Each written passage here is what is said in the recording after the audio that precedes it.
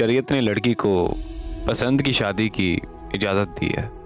फिर न जाने क्यों वालदेन बेटियों की शादियाँ उनकी मर्ज़ी के ख़िलाफ़ करते हैं। जब कोई बेटी कहती है कि मुझे वो पसंद नहीं, मुझे कोई और पसंद है तो क्यों उसे गलत कहा जाता है? क्यों उसे नाफरमान बोला जाता है? दर हकीकत वो ना ही कुछ गलत कर रही होती है और ना ही वालदेन की नाफरमानी करती है। क्योंकि वो लड़की तो शरीयत पर चल रही होती है। अक्सर तौर पर वालदेन लड़कियों को कुरान पाक की कसम देते हैं कि वो उनके मुताबिक शादी कर ले। तो ऐसी कसम जो आपको कोई दे रहा होता है, वो तब तक नहीं होती जब तक आप उस कसम को तस्लीम ना करो। तो ऐसी कसम तस्लीम करने से पहले ये सोच लेना चाहिए कि कसम तस्लीम करते ही उस कसम को मुकम्मल करना आप पर वाजिब हो जाएगा। फिर आपको वो कसम पूरी करनी होगी। और अगर फिर भी लगता है कि कसम तस्लीम करके गलती की है तो आपको वो कसम तोड़कर उसका कफारा अदा कर सकते हैं।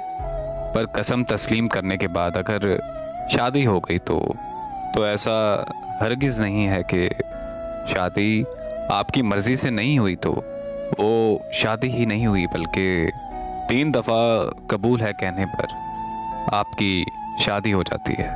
शादी होते ही शौहर के हकूक़ शुरू हो जाते हैं। फिर किसी और का सोचना गुनाह है।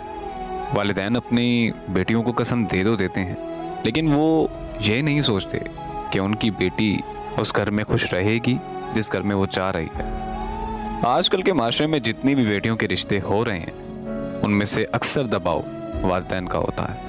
और अगर अगले घर में बेटी के साथ अच्छा सलूक नहीं होता, वो उससे बदतर सलूक करते हैं। तो वालदेन का ये कहना होता है कि बस, मेरी बेटी के नसीब अच्छे नहीं थे।